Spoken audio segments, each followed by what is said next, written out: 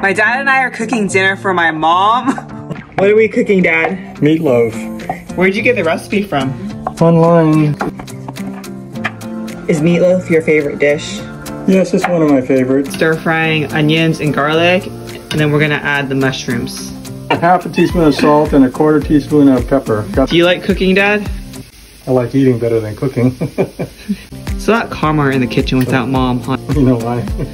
She's the queen of the kitchen. Mom, it's a lot calmer in the kitchen without you. That's great. You can cook anytime. By five. It's baking for 50 minutes at meatloaf and gravy. Great job, Dad. Thank you. How was it?